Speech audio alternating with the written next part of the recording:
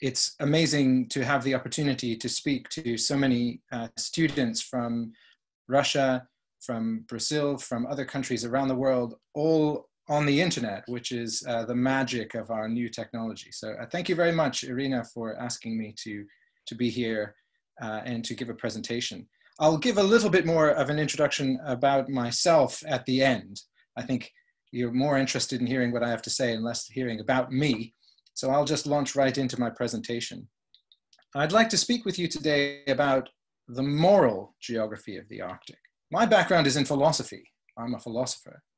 And so I think about the Arctic sometimes in a philosophical way and about Arctic geography in a philosophical way. And I think that there are ethical considerations um, to bear in mind when we think about, about the way in which we think about the Arctic. And that's what I'd like to speak with you about today. I think this is important if we are going to uh, understand how we should ask questions about sustainable development in the Arctic, which is the theme of this summer school, or uh, how we approach the Arctic in general. So all of you who are here, and I hope thinking about um, a career or studies involving the North, or you live in the North, um, this will be of interest and use to you.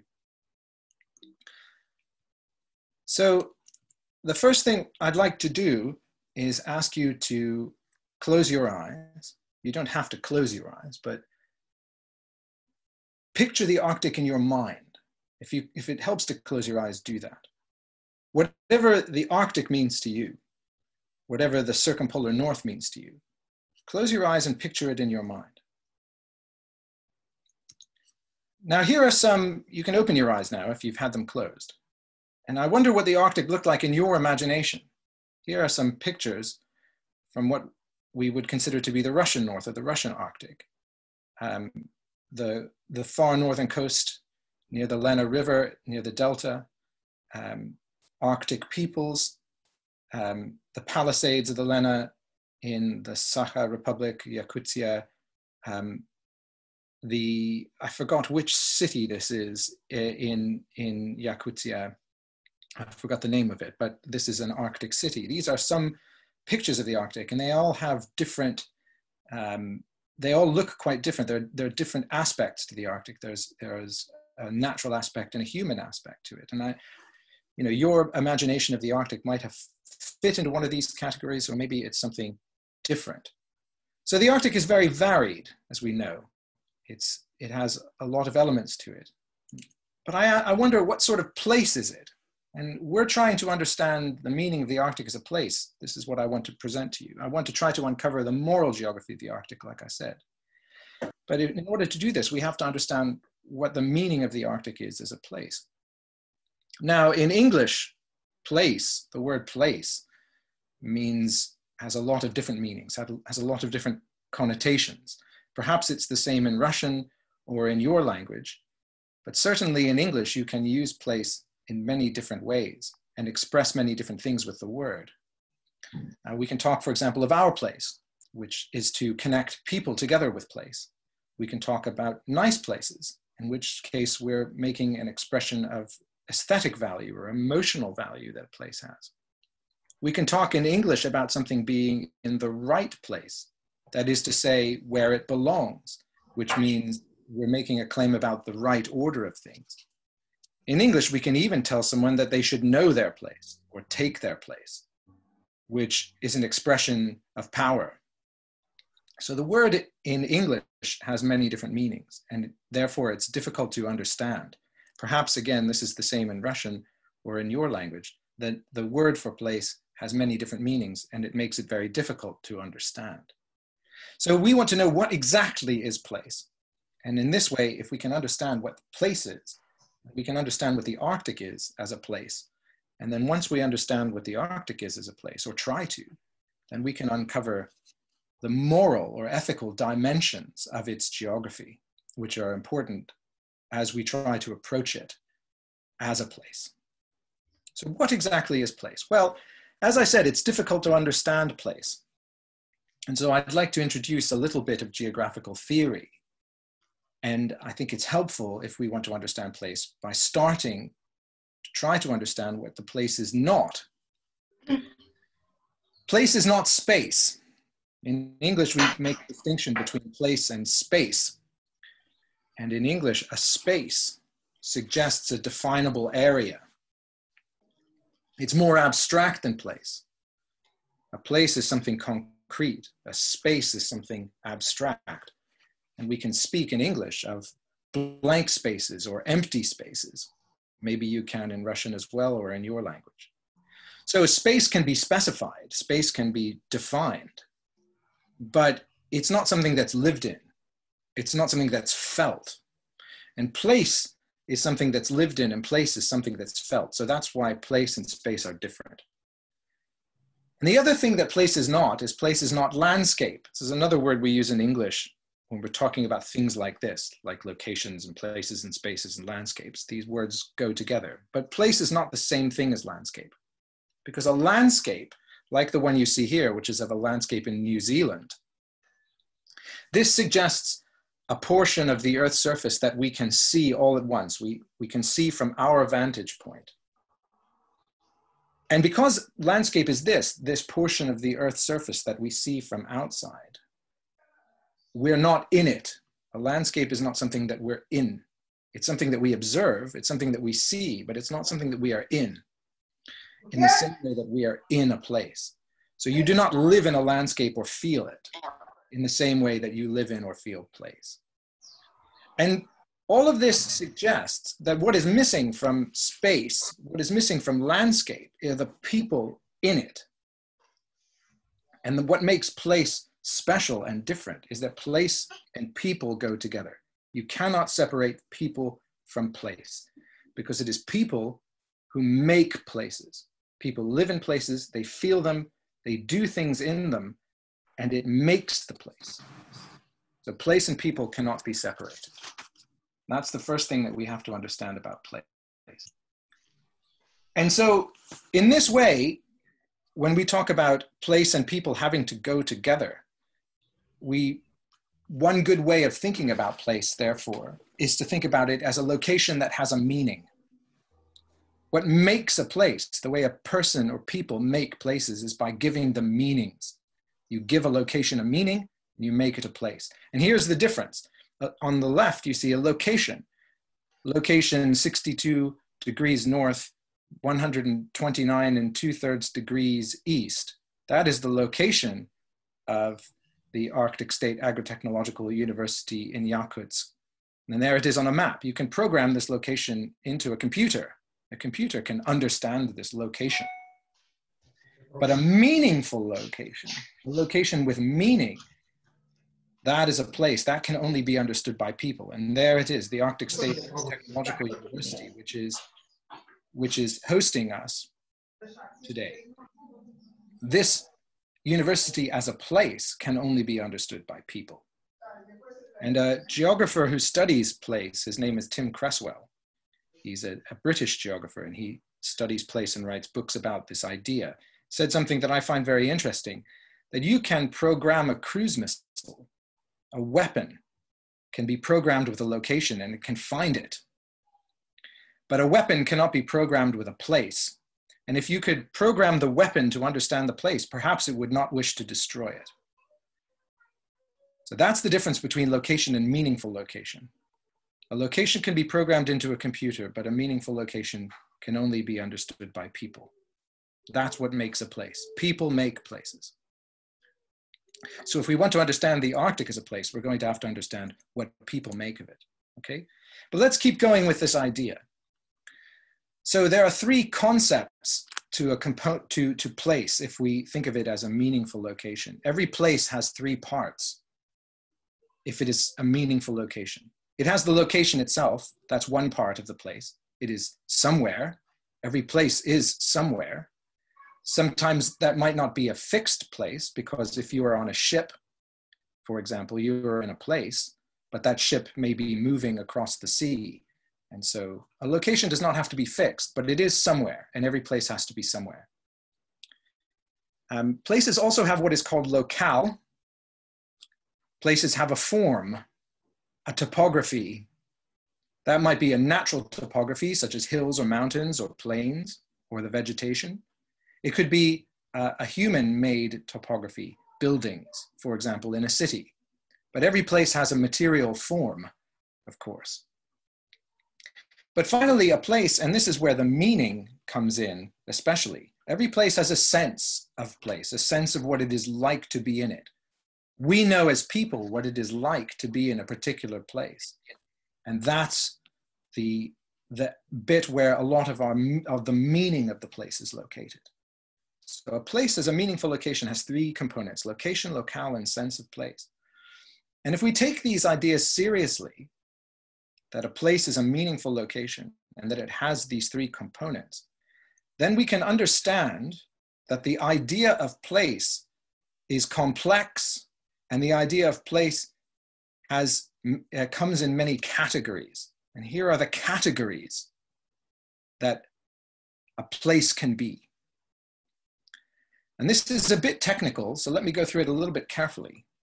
What I want to say is that the idea of place has three aspects. It has an ontological sense, and this comes from the Greek word onta, meaning things that exist. So place is a way of existing or being in the world. This, of course, corresponds to the location that a place has and to the locale, its material topography.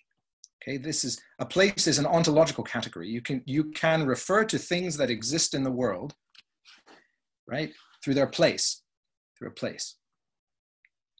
But place is not just a way that you specify what exists. This place exists, that place exists. That's not all you do with the idea of place. Place is also a way of knowing the world because places have meanings. And therefore, places are ways of understanding the world. And therefore, place has an epistemological category. Uh, place is an epistemological category. This comes from the Greek word episteme, meaning knowledge. So place is a way of knowing the world, and this corresponds to the, to the sense of place that we've talked about. And it refers to the collection of meanings that we give to places by doing things in them. Okay? So place is also a way of knowing the world as well as specifying what exists in the world. And then finally, and what is important for me here in this presentation that I want to give you today, is that place, the notion of place, and this might be surprising to you, but place also is a moral category. Place is a way in which we judge human action in the world, judge it to be right or wrong. Because some things are right in some places and they are wrong in other places. So, for example, often in a church, it's not, it is, you have to uh, speak softly or wear certain clothes. You cannot wear a hat or short sleeves or, sh- or short uh, trousers. This is not appropriate in a church because of the place. So, it is the place through which we are judging human action. And some places can be um, have meanings that allow us to, to judge human action. They imply rules about what is in place or what is out of place. Okay, so place is a very complicated notion.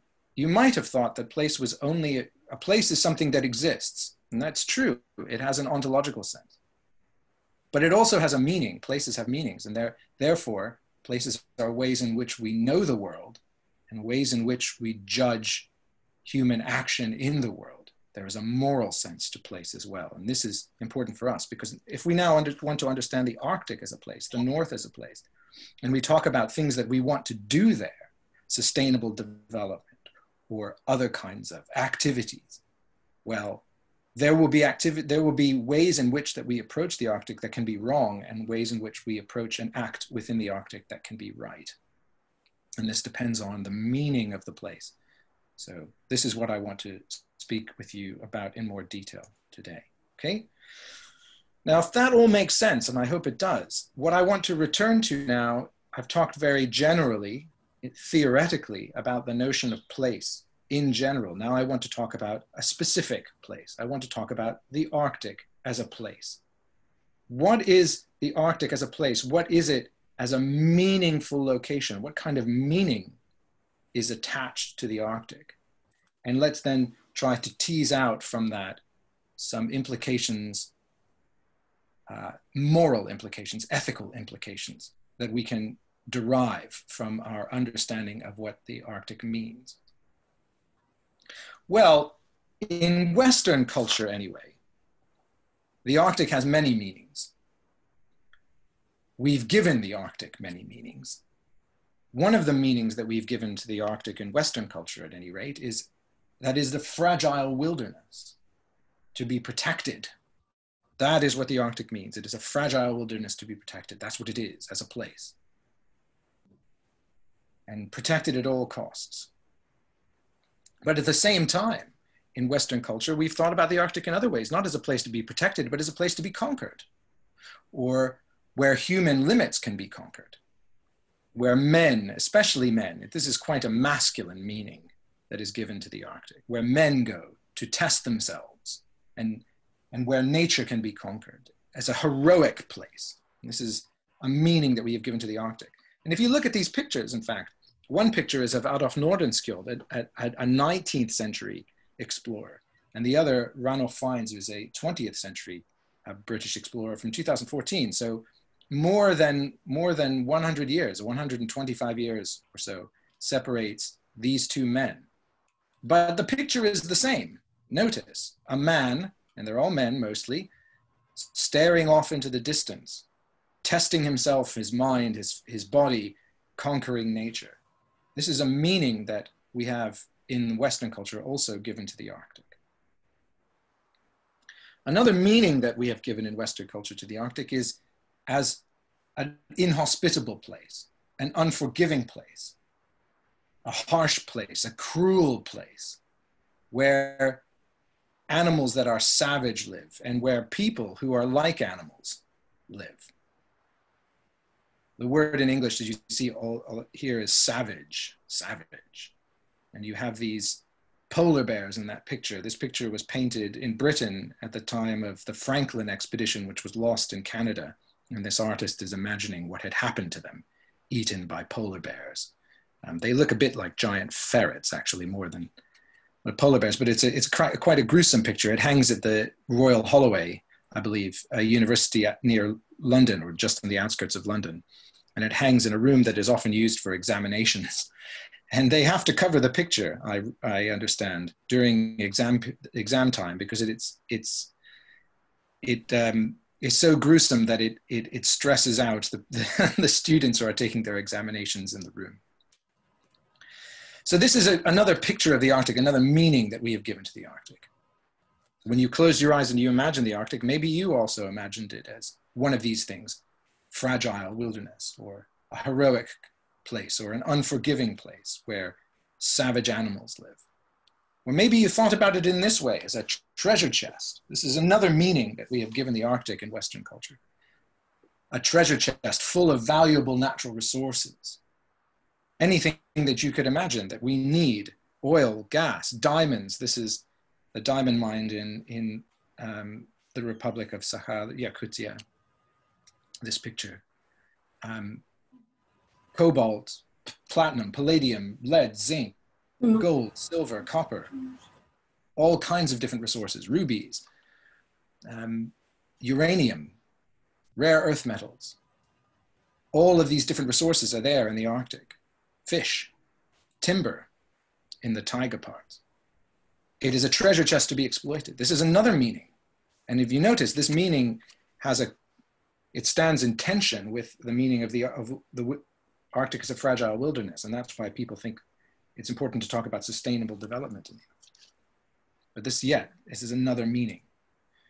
And this meaning also goes together with this idea that oh, the Arctic is a place that has not yet been claimed. A terra nullius in Latin, no man's land, some place that belongs to nobody. A lot of people in the West, especially who are not from Arctic states, think about the Arctic as a place that is yet to be claimed, yet to be annexed. So there it is, able for us to take it.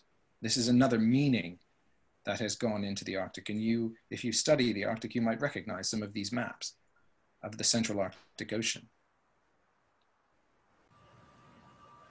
this goes together with another meaning that we have given the Arctic, especially during the Cold War, but again uh, now, as a place, because it is not claimed, that might be a place where war can happen. It's a military frontier. As all of the states who wish to claim the Arctic try to do so, there's the potential for conflict. And that two of the, two of the uh, countries that are involved here also have nuclear weapons. So this is potentially a very dangerous conflict. So the Arctic is a, is a dangerous place that, that, is, that could be fought over. This is another meaning or understanding of the Arctic as place that we have. Especially, I think this was uh, a meaning that had been given to the Arctic. It was very clear during the Cold War. But again, it is re-emerging. These images that I've put up, these are not old, these are very new. And I think perhaps now, amongst most people in the West, the Arctic has um, the, the first thing that people think about the Arctic is as a place where climate change is happening. This is the place we have to save from climate change because if we can save the Arctic from climate change, then we save ourselves. So the Arctic, in this meaning, becomes a backdrop, a scenery for a sta- on a stage for a, a play, a morality play, like in a theater. This is the scenery in a theater of a play of disaster, of salvation and redemption. We have to save the Arctic so that we can save our, ourselves. And this is a very common meaning that people have given to the Arctic now the canary in the coal mine of climate change. And there are lots of images that circulate of the Arctic like this. And I want you to look very carefully at this image of the polar bear, because this photograph is a fake. Look very carefully at it, it is a fake. You can tell this by looking at the shadow of the polar bear, it's not correct. But this image, the idea of the last polar bear, the polar bear that is starving and drowning, is a potent now, it's a potent image in Western culture. And even though this image is a fake, it's been used in news articles. It, I've even found it in a, in a university textbook, presented as though it were real. And I know it's a fake because you can just go to the website where you find the image. It's on a photography stock image website. And not only does the person who made it make this available for sale, he also makes all the component parts available for sale so you can make your own image. So it's, it's all constructed, but people believe it because this is the way they wish to see the Arctic. And this is the meaning that we have given it, the canary in the coal mine of climate change. So there are lots of meanings that we have given to the Arctic in Western culture. But the interesting thing about all of these meanings, all of these Arctic imaginaries, a geographer and, or a social scientist will often use the term imaginaries to describe the, the meanings that we have given to places, these Arctic imaginaries. You notice that all of them that I've shown you, which are typical in Western culture, don't have people in them. They don't have people in them. Or if they do, these are people who are like animals. So this is a problem, of course, because as we know, and you can see from these maps, there is a human Arctic. Many of you, perhaps this, uh, who are attending this, live in the human Arctic. You're well aware of this. But this is not something that many other people are well aware of. Sometimes I give this presentation and I show the, the map on the right-hand side, which shows the number of people living in the Arctic. And I, you add up those numbers and it's about 4 million. It's about the, still about the same as it was when this map was, was first drawn.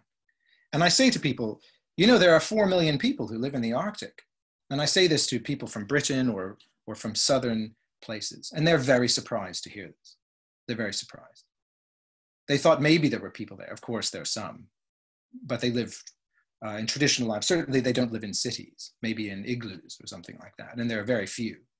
They're very, very surprised to find out that there are cities in the Arctic and 4 million people. This is not surprising, I think, to most Russians because 2 million of those people live in Russia and they live in large cities and Russians are aware of this. But in Britain, it's a bit of a surprise. In other places, it's a bit of a surprise. So there exists a human Arctic, of course, but all of the imaginaries that I've shown you, all of the meanings that are current, the way that people think about the Arctic don't involve people. And this is a problem. And now you can see where the moral, moral problems can arise. If we think about the Arctic as a place without people in it, then the way in which we approach the Arctic might be wrong, might be morally wrong. Now, I want to introduce you to, perhaps you've already heard of him. He's a, recently deceased, a very famous scholar named Edward Said. And he wasn't writing about the Arctic. Edward Said was writing about the Middle East, and he wrote a very famous book called Orientalism in the 1970s. Um, and in this book, he describes not the meanings that we've given to the Arctic, but the meanings that Western culture has given to the Middle East. And today we would call them imaginaries. He called it Orientalism, a kind of a constructed idea of the Middle East with its own tradition of thought, imagery, and vocabulary, as he said. And it's, this is a style of thinking about the Middle East that is based on look at these words he uses ontological and epistemological distinction between the Orient and the Occident, the East and the West. And this way of thinking about the Middle East that he details in his book was used, this style of thinking is, as he put it, a Western style for dominating, restructuring, and having authority over the Middle East, over the, over the Orient, over its territory, its resources, and its peoples. And those of us who are not um, come from cultures that are not Arctic cultures, our imagination of the way the Arctic is can also be used as a way to understand the Arctic in such a way as to dominate it, as to have authority over it, as to, as to take for ourselves the right to define what the Arctic is and to use it. Because our imaginaries don't have people in them. Our Arctic imaginaries don't have people in them. And so I would call this a borealism he Edward Said called his imaginaries of the Middle East that he identified, he called it an Orientalism. I will call this a borealism. There is a borealism, boreal from the word for north in Latin. There is a borealism in the way that we, which we approach the Arctic. Our imaginaries that I outlined to you, I think, add up to a borealism. And I want to talk to you about what I think this has moral implications. I think this has important moral implications when we think about how we want to approach the Arctic. If you talk about sustainable development in the Arctic, what are you talking about?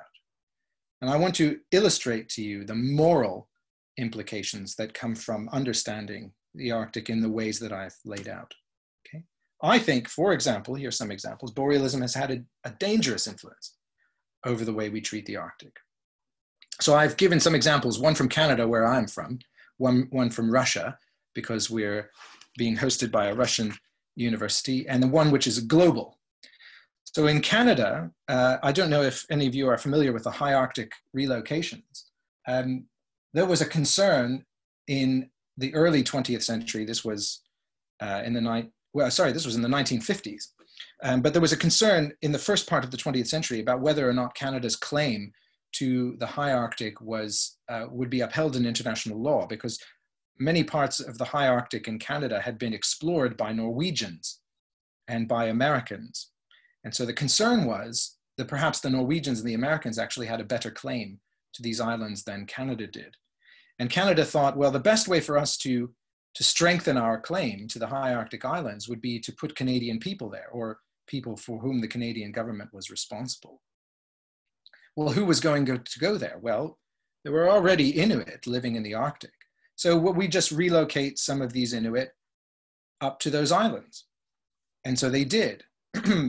because the Arctic is the Arctic is the Arctic, isn't it? It's just a wilderness. It's the same everywhere. The people are the same. So they could go and live anywhere. But of course, the high Arctic islands were many, many hundreds or thousands of kilometers away from northern Quebec, which is also Arctic. Um, but a different kind of Arctic. Um, and so the people who were loca- relocated from northern Quebec up to these islands, many of them starved because the landscape was different, the animals were different, the seasons were different, and they did not know how to survive there as, as well. But for a Westerner, for a Southerner from Canada, what was the difference? It all looked the same. The Arctic was the Arctic was the Arctic. Um, an example in Russia would have been to use uh, Novaya Zemlya for nuclear testing. Several, uh, two, over 200 nuclear weapons were detonated on Novaya Zemlya for testing. Um, because this space was a space that no one lived in. It was a no man's land. It was nobody's. And it was a bit of a, a wasteland. What else would you do? with this island. These are dangerous ways of thinking about the Arctic.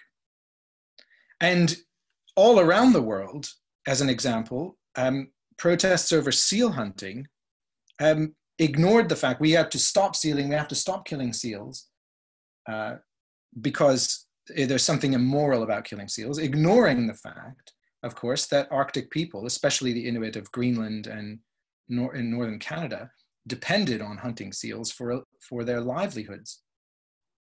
And this had terrible uh, effects on their communities when the ban on sealing was brought into place in the 70s and then in the 80s.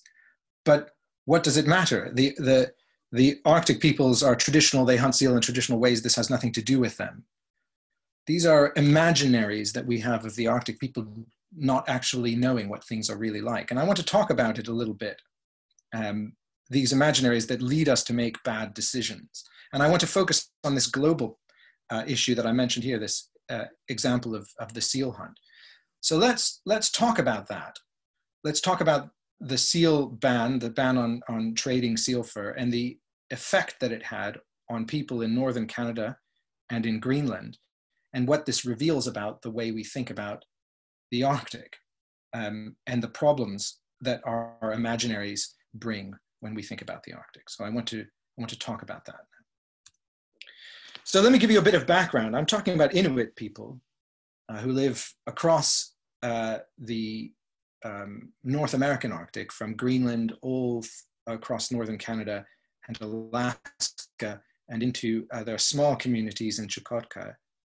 Uh, the Inuit uh, in Canada and Greenland, especially, uh, depended on seals for their livelihood. And they mostly hunt uh, a species of seal that we call the ring seal.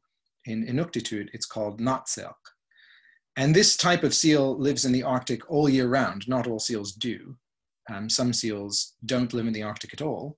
Some seals only move up north during the northern summer. But the ring seal lived in the Arctic all year round and it could be hunted all year round uh, from holes in the ice, traditionally, as you see in the traditional picture on the left.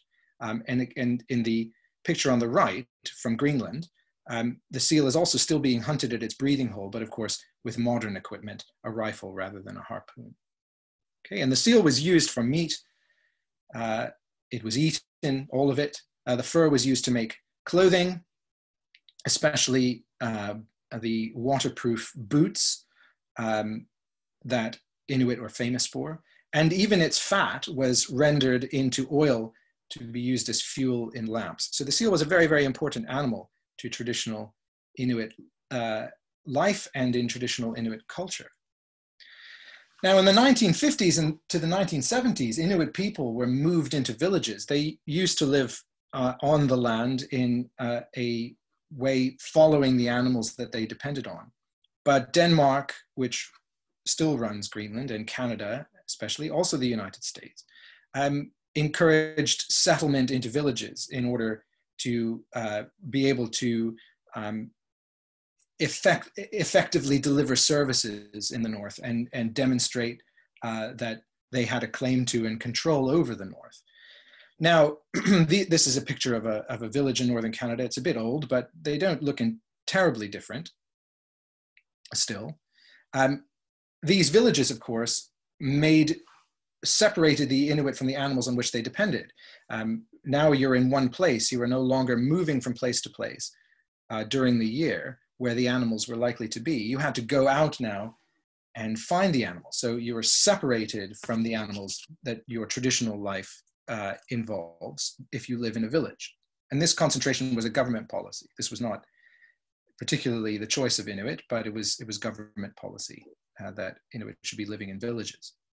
Now, because they were separated from the animals, they didn't stop hunting. Inuit are very resourceful people. But hunting needed to be more efficient. Uh, if you were going to go out hunting and you needed to go and find the animals, you needed better transportation. And you needed to be sure that you were going to be successful. So your hunting gear, a rifle, is, is much more efficient than a bow and arrow or a harpoon. So Inuit began to adopt snowmobiles, um, motorboats, rifles as part of their their traditional life. This was still, a, this was an adaptation of traditional life. Uh, this wasn't something giving up traditional life. This is, was a way to sustain traditional life, just using new equipment. Now, this new equipment, of course, had to be bought rather than made. So this new equipment required money. And now, because Inuit lived in villages, if one wanted to continue the hunting life and the traditional life, one had to have money in order to continue it. Fortunately, for Inuit people, in 1961, a Norwegian inventor created a process for tanning seal pelts uh, to preserve them so that they could be more easily uh, made into uh, luxury items. Seal was used in luxury coat for luxury coats and, and other luxury items by uh, sold uh, in Europe and in Russia and in the United States and in Canada as luxury items for people to wear. Um, and this Norwegian process for tanning seal pelts made them very useful as a fur for these sorts of items. And that raised the demand for seal fur. So this gave the Inuit a way to sell some of the produce from their hunt in order to buy the equipment they needed to continue a traditional lifestyle. So this was a win for everyone. They could sell the ring seal pelts that they were not using. Some of them were still used to make some clothes, but not all of them. Um, the Inuit were hunting and eating uh, more seal than they needed the, the fur from. So the fur could be sold. And that sale of that fur then generated money, generating money from the traditional lifestyle, from the traditional hunt, generating money in order to buy the equipment that was needed to continue a traditional lifestyle. This was adaptation, not this was change, but this was not modernization and giving up old ways. This was Inuit remaining Inuit, defining their culture and their traditional uh, way of life in a new style that was a response to the village life that they had been brought into by the Canadian government and the Danish government. But of course, as you probably know, um, the hunt for seal was not uh, was considered to be um, cruel by many people in the South. Partly because the most expensive seal pelts and the most demanded seal pelts were these white coat pelts. These are the pups of harp seals. Harp seals uh, only spend part of their lives in the Arctic. And the Inuit didn't particularly hunt harp seals. They hunted ring seals in the wintertime. Harp seals move up to the north in the, in the summertime. And it's much harder to hunt seals in the water. So harp seals were, were not um, the, the common uh, animal that Inuit depended on. But their pups have these beautiful, beautiful, beautiful white coats. Uh, and they pup in the south. They pupped in the White Sea, in, uh, in uh, Russia, off the coasts of uh, Norway, the ice front near Norway and Svalbard, and the ice front near Newfoundland in Canada. So further to the south um, than where the Inuit lived in Canada and Greenland. And they were hunted by people from Newfoundland, uh, Canadians from, from Newfoundland, uh, to, pr to provide these white pelts to the fur market. Um, and this was thought to be cruel, to kill these very young pups for their coats. And Brigitte Bardot was one of the most famous celebrities, that's her in this photo, she was a French actress, was one of the most famous celebrities that tried to call attention to this hunt. Uh, uh, in her view, it was immoral to be hunting these seals for their fur. And it was this hunt was uh, thought of as inhumane. But this hunt did not involve any Inuit people. Uh, it mostly implicated uh, Russian and Norwegian and Newf Newfoundland hunters, Canadian hunters. And this is what it looked like. This is why people thought it was immoral. Um, these small uh, seals were often um, not, they were not shot, they were bludgeoned with uh, that hammer there that the Norwegians invented. It's called a hakapik. It was brought down on the skull of the animal to kill it very quickly um, and without damaging the pelt. The death was instantaneous, but it does look very dramatic. And of course, um, butchering the, the animal to take its fur on, on white snow and ice makes the blood stand out very strongly. And so, for people who did not live a natural life uh, close to nature in southern countries, they found this very difficult to see and uh, they thought of it as cruel and immoral. And so, ultimately, uh, a ban on this activity was brought in. There was a ban in the, in the United States in, in 1972, um, a ban in Europe in 1983. There was also a ban in Russia on hunting whitecoats and on, on uh, seal fur, trading seal fur and using it uh, to make for coats or other items. Okay, and that ban was devastating to communities in in Nunavut. In uh, this is a picture of Iqaluit, um, where I used to live on Baffin Island, in uh, near to Greenland. It was devastating to communities in Greenland as well. The 1983 ban instantly impoverished these communities. They, the government of the Northwest Territories, which was the government um, that looked after these communities in 1983 when the ban in Europe came in, this was the major ban, the ban in Europe in 1983, because Europe was the center of the, of the fur trade. So when Europe put the ban on, that was what finally killed the market. Um, this gov- the government of the Northwest Territories estimated that 60% of the community income, the income that was coming into these communities, disappeared, it vanished. 60% of the income vanished. So the, these communities were instantly impoverished. I'm not quite sure where these um, marks are coming from. They're certainly not coming from my screen, uh, from me. Um, there we go. Uh, so it instantly impoverished these communities. 60% of the income was wiped out. And that poverty in these northern communities in Greenland and in northern Canada that depended on the seal, this poverty exists even today. And these pictures that I've shown you now, these are not from 1983. These pictures are recent. Um, the cost of living is very high, of course, because so much needs to be brought in and brought in by air. Um, and job opportunities and income opportunities to make income are, are few and far between. And so poverty remains. And this the option of making a living from hunting seal is no longer available. It's no longer available. And the poverty persists. Now, in Canada, in, in 1985, there was an inquiry. The government responded to the ban on uh, seal trade with an inquiry into the seal hunt. What were the circumstances? What uh, was it really inhumane? Um, how did the ban? How has the ban affected communities in Newfoundland and affected communities in northern Canada? And there were some. Uh, th- this this government inquiry was uh, brought in people from uh, many different uh, viewpoints to give their perspective on the issue.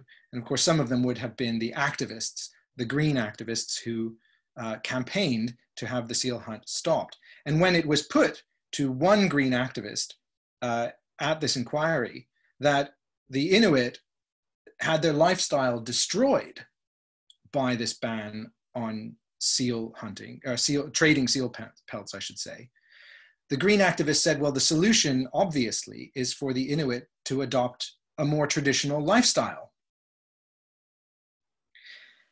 Now, I hope you see the irony in this because it was, the, it was selling seal pelts on the market in order to buy the equipment that was necessary for hunting that was, that was what was keeping this traditional lifestyle alive. And so for someone to tell the Inuit that they should become more traditional was, I'm sure, very difficult to hear, very difficult to hear. Uh, galling, I should say.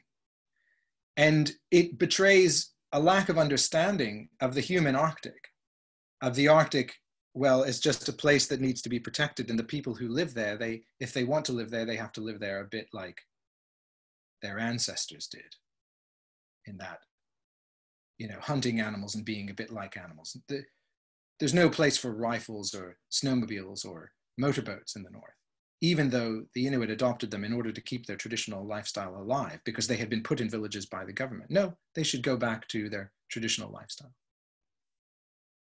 So this was a person who was not Inuit trying, in a sense, to define what the Arctic was, define it, and define who the Inuit were from their own imaginary of what the Arctic ought to be. So this is what I mean about having a particular image of what the Arctic is, a place of fragile wilderness to be protected, can lead to morally problematic decision making or morally problematic viewpoints. And I found this political cartoon, this cartoon that was published in the 1980s. And I think it's rather funny. Um, the two old people watching the television, television says that the ban on seal hunting is destroying the Inuit people. And the husband says, well, how does Greenpeace, which was one of the organizations that, that campaigned for the seal hunt to be stopped, how does Greenpeace feel about destroying an endangered people to save a non-endangered seal? And his wife says, well, maybe Greenpeace could help the Inuit survive. And the punchline, of course, is on the fourth and last panel. Don't be silly, Mavis. The Inuit are human beings. Human beings don't have a place in the Arctic. So, what Arctic imaginaries enabled or justified treating the Inuit as, as collateral damage in a battle to protect the seal? Well, it's an imaginary of the Arctic. It's a vision of the Arctic um, um, that doesn't have people in it. So, this is what I mean about the problems and the way we think about the Arctic. All those imaginaries that I showed you in the previous section, which don't have people in them. Now, today, we're not worried so much about the seal. People don't talk about that anymore. What people are worried about is climate change, of course. That's how people see the Arctic, not through the lens of the seal, but through the lens of climate change. And as we all know, this is real, of course. The Arctic is heating up much faster than the rest of the planet, as these, as this map and this graph show. This is a change over uh, the past 60 or 70 years. Um, and you can see that the change has been greatest in the Arctic compared to other parts of the world. This is a change in surface air temperature. Now we need to save the Arctic. Not, it's not about saving seals. We're now, our focus is to save the Arctic because if we can save the Arctic, then we can save ourselves from climate change. Now, of course, Arctic peoples themselves are very concerned about climate change. Uh, Sheila Watt-Cloutier is an in Inuk from northern Quebec in Canada who wrote a book saying that Inuit have the right to be cold, to, to, to have their, to have a, a, a normal pattern of of snow and ice in the Arctic is part of the human rights of Inuit because their lives, their culture depends on uh, a frozen Arctic. So this change, climate change, represents a threat to their very existence, their very culture, their society. Uh, and of course, already there are problems because the ice is less, um, the less stable. It's very difficult to uh, move on as people used to do traditional knowledge of the seasons is less useful because the seasons are changing. And of course, as we know, um, permafrost melting and changes to the seasons are damaging infrastructure in villages. So um, modern society in the north um, is being harmed by climate change right now. And the important thing to remember, of course, is that Inuit and other Arctic peoples themselves bear very little responsibility for climate change. The climate is changing mostly because what's going on in the south, the lifestyles that, that we live in the south, not, not um, there, there are 4 million people in the Arctic, but so far that, that I mean, that's too few uh, to make the changes that we're seeing. It's, these changes are mostly coming from the, the, the lives that we have adopted outside of the Arctic. But even though Arctic peoples, of course, are, are concerned about climate change, they're, they're not necessarily concerned about it more than other problems, such as human security, economic development, these things that we talk about when we talk about sustainable development. And this was a, a public opinion poll that was taken in Northern Canada and Alaska, and it shows that yes, if you can see number three there, 86% of people in Northern Canada are concerned about climate change. 86% are also concerned about basic public infrastructure. 73% and more, if you think about just Indigenous people, more than just the 73, are, are concerned about preservation of traditional culture um, high cost of living, healthcare, education. These are all worries of people who live in the Arctic, uh, of people who live in Alaska and northern Canada, where this was taken, but it's true around, around the Arctic. So for Arctic peoples, it, this is not a question just of climate change. That's not the only problem that's facing the Arctic.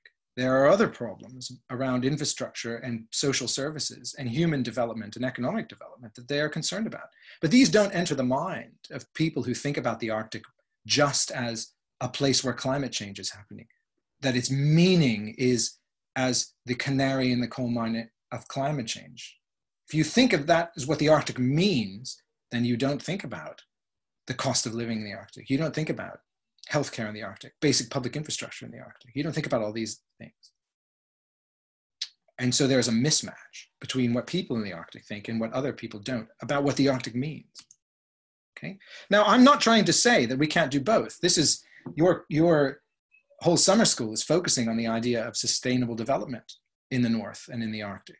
And I, I, I don't think that it is incompatible to tackle climate change and to try to solve the problems of human development, sustainable human development in the Arctic, uh, these Arctic ethical and social problems. You can do these both.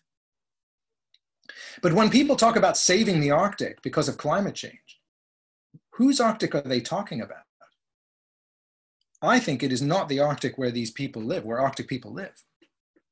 It's the Arctic that doesn't have people in it.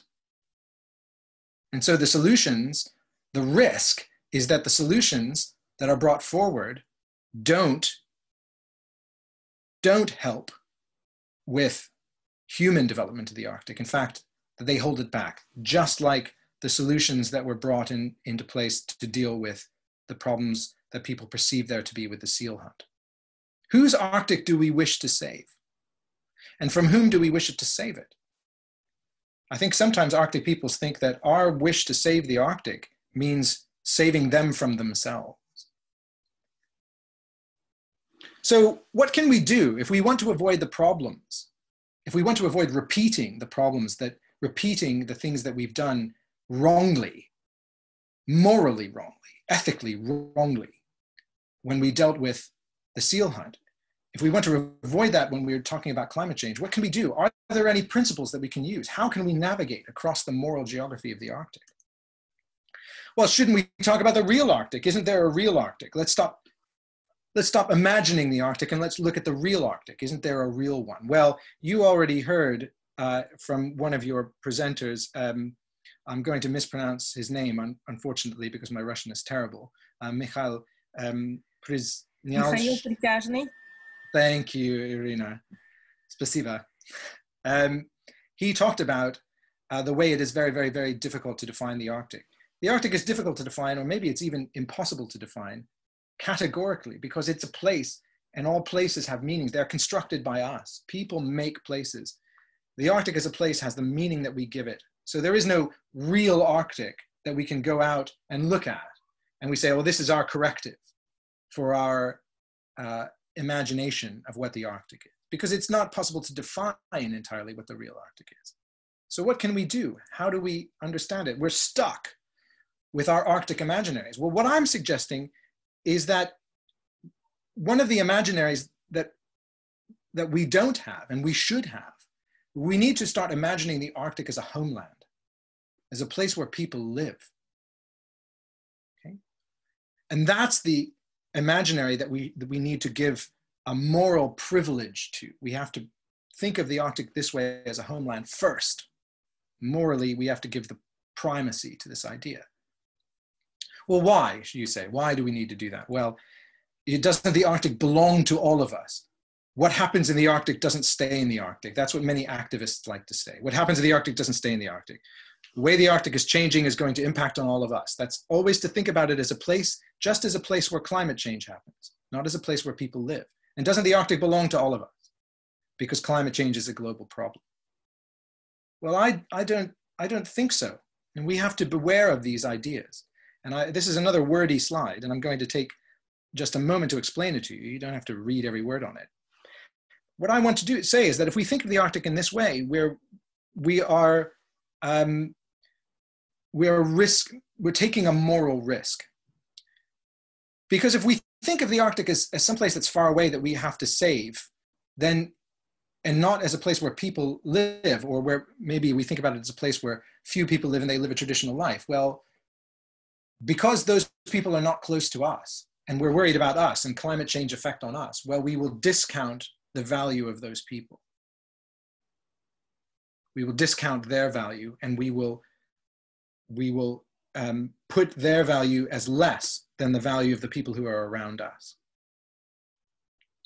And if we and, and if we imagine the Arctic in a way that doesn't have people in it, we also we also run the risk of not understanding the consequences of our actions on the Arctic and on the people who live in the Arctic. That's what happened with the seal hunt. We didn't understand, we didn't think about the consequences of our actions on the people who depended on the seal because we didn't imagine that the Arctic in this way. We didn't imagine it as their homeland. We didn't imagine it as the place where, where they live and had to make a livelihood. And because we didn't do that, again, we discounted their value. We were ignorant of it. And then finally, and I think this is the most important, and this is about the last column. If our concern for the Arctic, if our concern for the Arctic as a place is because we're concerned about ourselves, and we're concerned about climate change effect on us, then do we really care about the Arctic? If we're concerned about it because what happens in the Arctic doesn't stay in the Arctic, then do we really, really care about the Arctic at all? And what I'm saying is we have to locate our ideas of what is right and what is wrong within the context of the meaning of the Arctic. And I think the meaning of the Arctic as a homeland. So if we want to talk about sustainable development, as you guys are, are, are talking about in your summer school, we have to, you have to locate sustainable development in the context of the meaning of the Arctic as a homeland.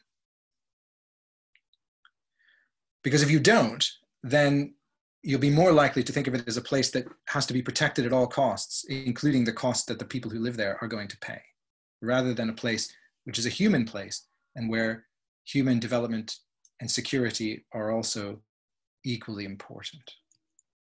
Okay, so I think the best corrective, and I've said this already, I'll say it again, the best corrective against borealism, against these imaginaries that we have of the Arctic is to listen seriously to the voices of people in the Arctic. And because I've talked about the Inuit, um, I mentioned the Inuit Circumpolar Council. This is the organization for all Inuit across four countries, as you can see from the flags, the US, Russia, Greenland, which is in Denmark, and uh, which is run by Denmark, well, I shouldn't say that. It's not. It's which which is um, part of the Danish kingdom, I should say, um, and Canada. And there they are, the four representatives from different parts of the Inuit world. We listen to what they have to say. And if we learn from them what it means to talk about the Arctic as a home, then we can learn about what is wrong with the way we think about the Arctic, the failures of our imagination. We correct for our moral discounting. This is what I propose to you as a corrective. And I think this can start at university. Can we also listen more closely to Arctic voices as we teach and learn about the Arctic at university? And I think we can. And let me tell you about a project that I'm working on and that Irina from, from the Arctic State Agritechnological University is also involved in. Uh, a new uh, group within the University of the Arctic called the Lyra Institute. I know you've heard about the University of the Arctic already. Um, you've heard about it from some of your other presentations, and, and you know that the Arctic State Agritechnological University and NEFU and others are all part of the University of the Arctic. But let me, if you've not heard of it, let me just remind you, it is a, it was founded uh, through the uh, Arctic Council in order to promote uh, collaboration around the Arctic, around the circumpolar north in education and research and outreach.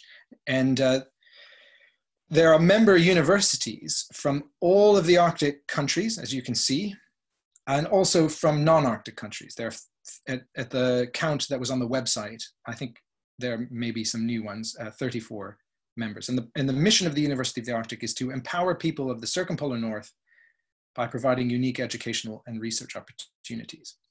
That's what the University of the Arctic is for. And one of the things that the University of the Arctic did very early on was to create what they called a Bachelor of Circumpolar Studies, which is a program, a kind of an undergraduate core curriculum that anyone could take in any University of the Arctic member institution to learn about the circumpolar world, to learn about the Arctic.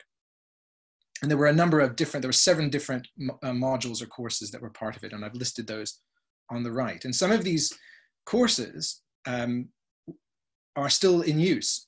So for example, in NEFU in Yakutsk, I know is still using uh, some of these BCS courses um, to teach about the Arctic.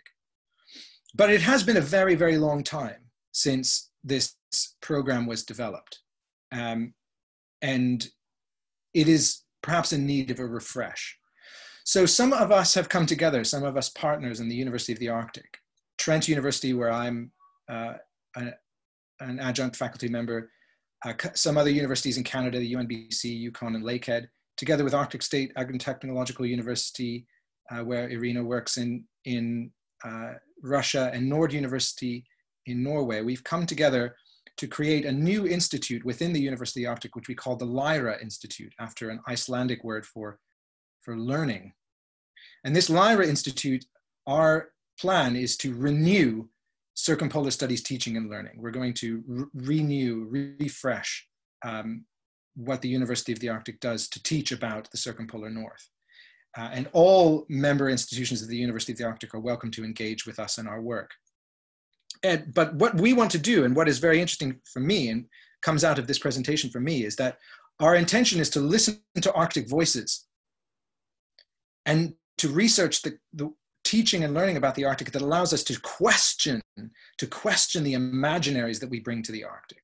And this is our work program. I won't go into it in detail with you. You can see it in the slide if you uh, watch the recording back. But our plan is to we want not to create courses, but we want to create a specification for what a good circumpolar studies uh, course would look like, and then allow that use allow member institutions to adapt that specification to their own local circumstances. Because there's not one Arctic, there are many Arctics. There is a human Arctic, but there are so many different ones that the old program was here is the course and it can be taught anywhere. What we want to do is not to create a course, but we want to say a good course would have all of these elements. And then now you can go and develop your own, which is appropriate to your local circumstances. And that way we begin to question standard views of the Arctic. And one of the things that we're hoping to do, and I was talking to, you might have overheard my conversation with Irina about funding that we're applying for, we're hoping to be able to work together with the Arctic State Agri-Technological University and other universities in Yakutsk, NEFU and um, the Institute for Culture and Arts and the Institute for Music to understand Russian and Russian, uh, Russian perspectives on the North and the Arctic and Russian indigenous people's perspectives on the North and the Arctic. So that these can be brought into an understanding of, of the North as a whole. Because uh, there's a there's a bit I think of a gap in, in understanding that in, in Western countries, and we want to bring this all together so that we are now questioning these imaginaries of the Arctic that I think lead us down the wrong path.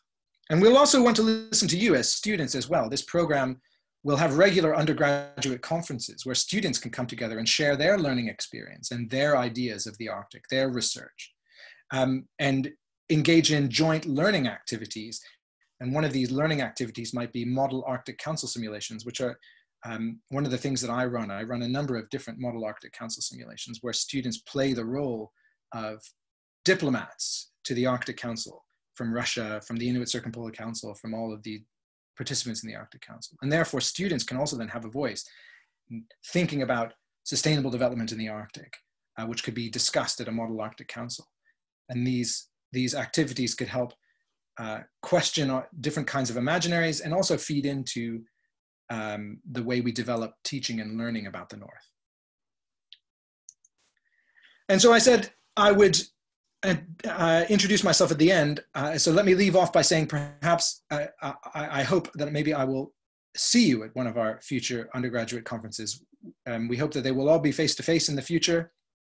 Um, and, and I hope maybe that you will be able to participate in them and I, and I will see you there. And this is just a little bit about me. Um, has already mentioned that I, I, am appointed at Trent. I've mentioned uh, these Model Arctic Council simulations that I run, um, which I'd be happy to speak with you about more. I used to live and work in the Arctic. I'm now in the UK, but I used to live and work in Nunavut on Baffin Island. Um, for me, the Arctic is a homeland, and Arctic philosophy is my passion. So thank you very much for allowing me to speak with you about Arctic philosophy as I see it and the moral geography of the Arctic. I'm happy to take any questions that any